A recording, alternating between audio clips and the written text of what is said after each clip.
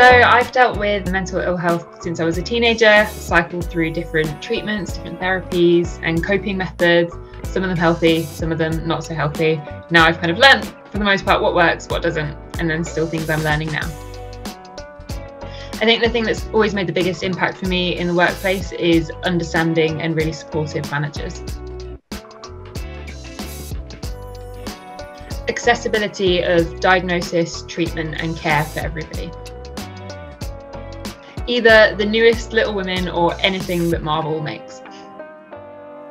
I go on adventures with my tiny little dog and I hang out with my friend and her new baby and sometimes play piano very badly. Christmas, hands down. By being open and honest about my own journey, all of its different twists and turns, so that other people can feel comfortable and seen in their own journey.